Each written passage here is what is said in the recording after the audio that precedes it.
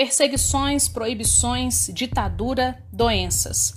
A realidade do país comandado pelo Partido Comunista Chinês, que exportou um vírus mortal para o mundo.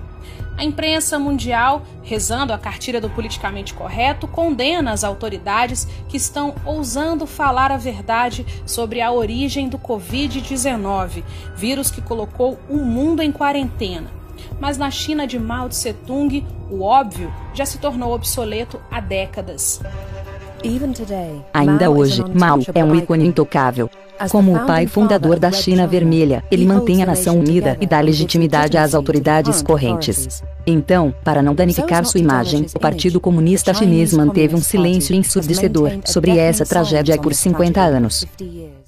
Os hábitos alimentares dos chineses, muitas vezes chocantes e cruéis, são em parte herança da grande fome de Mao, período de escassez promovido pelo líder comunista chinês entre 1958 e 1962.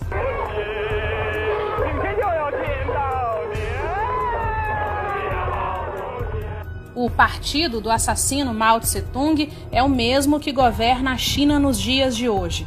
O mesmo partido que escondeu a gravidade da doença que sairia de Wuhan para o mundo.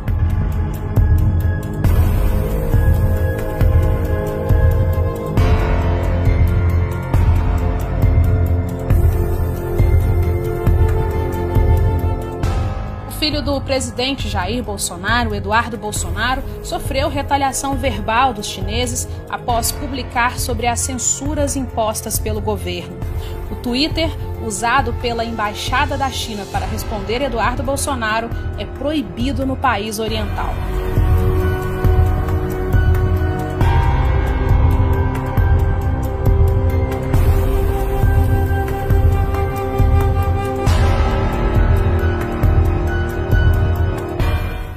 As proibições vão além das redes sociais. Uma comunidade rural do sul da China obrigou os cristãos da região a retirar todos os retratos de Jesus Cristo, cruzes ou símbolos religiosos e substituí-los por quadros com a imagem de Xi Jinping, o líder do Partido Comunista Chinês. Milhares de fiéis da comarca de Yugan seguiram as ordens das autoridades locais, que fizeram ameaças de cortar os benefícios econômicos destinados aos mais pobres.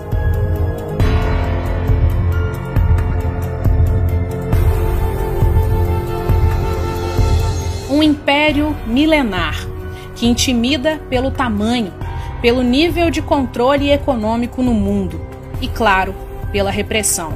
Enquanto na China, as autoridades declaram que o surto está no fim, no Brasil, aumentam as mortes pelo Covid-19, o vírus de Wuhan, o vírus chinês. Mais uma vez, o mundo tenta se proteger de ameaças vindas do lado de lá. De Belo Horizonte, repórter Fernanda Salles.